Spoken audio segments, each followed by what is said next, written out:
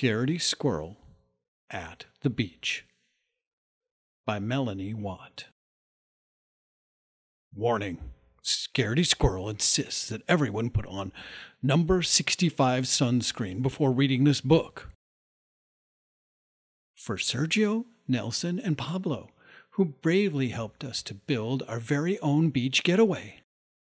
Scaredy Squirrel at the Beach by Melanie Watt.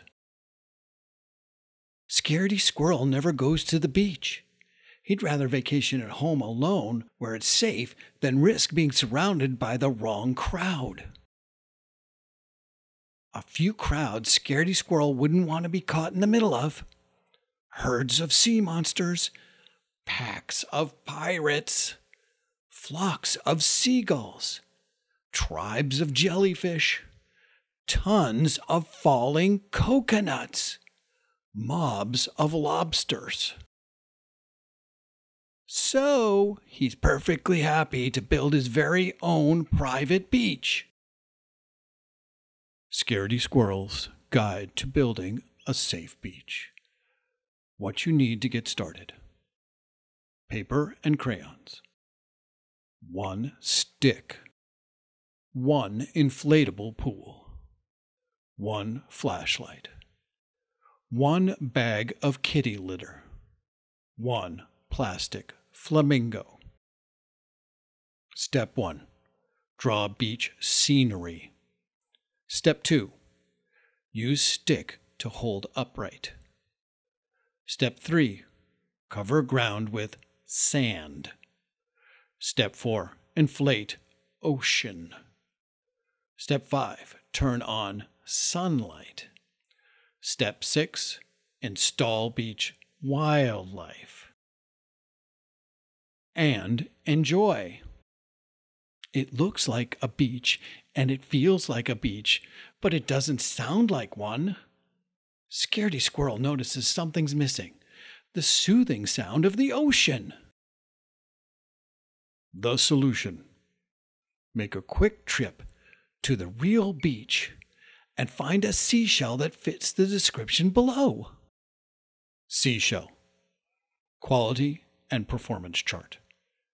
Check germ free. Check shiny exterior. Check crystal clear ocean sound. Red alert.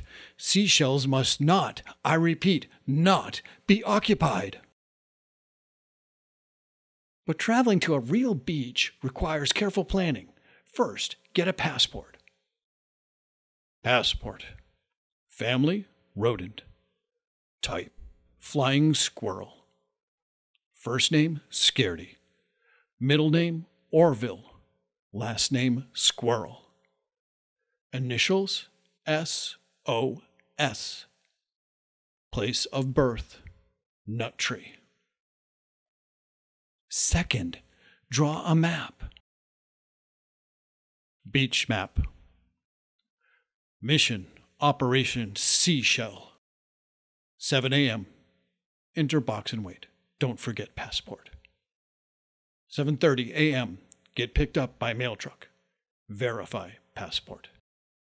8:42 a.m. Arrive at beach and wait until the coast is clear. Don't lose passport. 11:42 a.m. Exit box and find seashell. Hold passport. 1:49 p.m. Enter box and wait for pickup. Check passport. 6 p.m. Get delivered back to Nut Tree. Put away passport. I am here. Seashell should be here. Caution falling coconuts have a mind of their own. They can knock you out without warning. Important sea monsters are camera shy, so keep camera close by. Ahoy, matey. Watch for pirates. Arr. They'll make you walk the plank. Stay away from tribes of jellyfish. You'll be stung by how sneaky they can be. Never trust a mob of lobsters. They are a pinch territorial and are eager to snap. Careful, birds of a feather flock together, seagulls can drop by at any time. And last but not least, travel light and dress accordingly. Scaredy's Beachwear. The squirrel is a trained professional. Don't try this at home. Exhibit A Protective headgear for falling coconuts. Exhibit B Protective eye patch to fool pirates. Exhibit C Protective flotation device to prevent sinking. Exhibit D, protective camera to discourage sea monsters. Exhibit E, protective compass to avoid getting lost. Exhibit I, protective French fry to distract seagulls. Exhibit H, protective oven mitts to block germs. Exhibit G, protective rubber band to tame lobsters. Exhibit F, protective footgear to shield from jellyfish. Remember, if all else fails, play dead and send an SOS. The next morning, as planned, Scaredy Squirrel jumps into the box. At 7:30 a.m., he gets picked up. They drive and drive. Welcome to the beach. At 8:42 a.m., Scaredy gets dropped off and waits and waits. Caution, live animal. Attention, this box may contain traces of nuts. 11:42 a.m. a crowd appears. People were not part of the plan. Scaredy Squirrel panics and plays dead.